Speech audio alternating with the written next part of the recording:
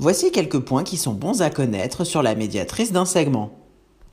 Comme tu peux le voir, à la fin de cette vidéo, tu seras capable de construire la médiatrice d'un segment à l'aide d'un compas.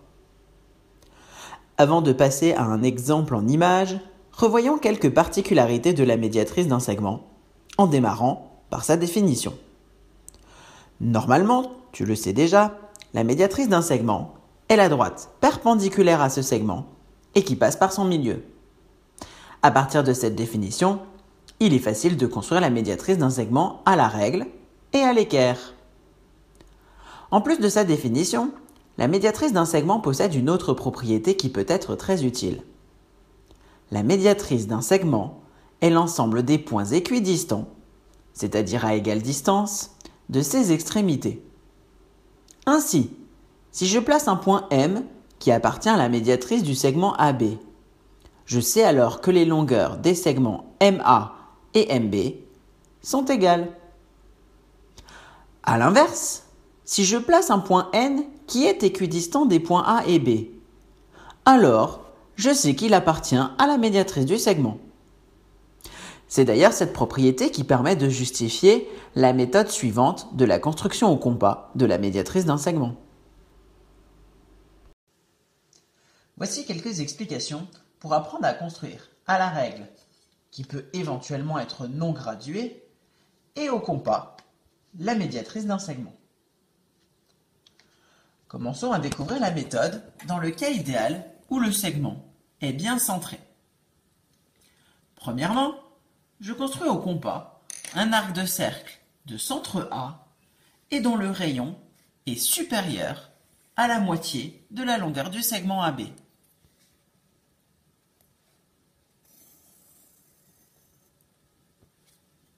Deuxièmement, je construis toujours au compas un arc de cercle de centre B et de même rayon que le précédent.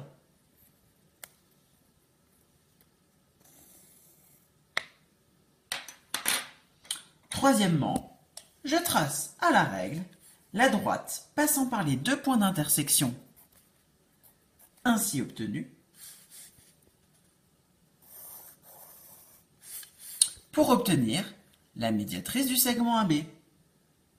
Enfin, je pense à coder la figure en montrant que cette droite est perpendiculaire au segment AB et qu'elle passe bien par son milieu.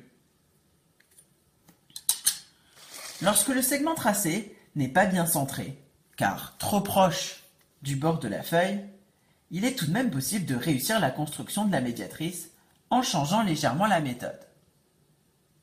Premièrement, à partir de chaque extrémité du segment, je trace du même côté deux arcs de cercle de même rayon.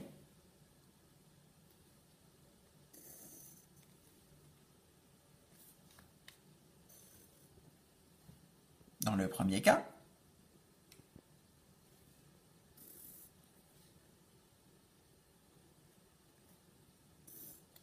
Dans le deuxième.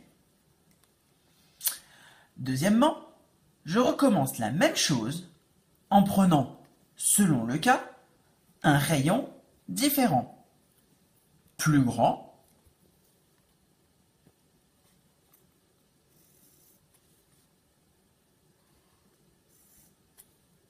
ou plus petit.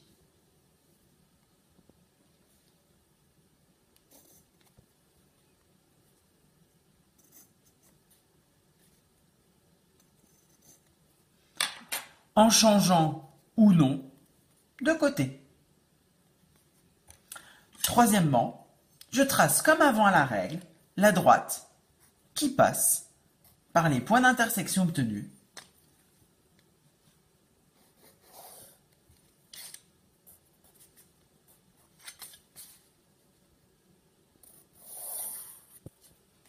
et obtenir ainsi la médiatrice du segment.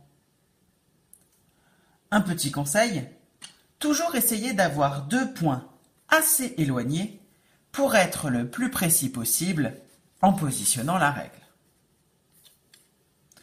Évidemment, pour finir, je n'oublie pas de coder ma figure comme il se doit.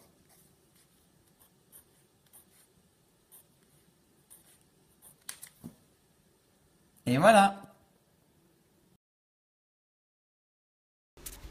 Maintenant que tu as vu comment faire, c'est à ton tour d'essayer. Entraîne-toi à construire des médiatrices de segments que tu auras préalablement tracés. N'hésite pas ensuite à vérifier ou faire vérifier tes constructions en t'assurant que tes médiatrices sont bien perpendiculaires au segment et qu'elles passent aussi par leur milieu. Tu seras alors prêt pour le travail qui t'attend en classe, mais n'hésite pas à revoir cette vidéo autant de fois que tu en auras besoin.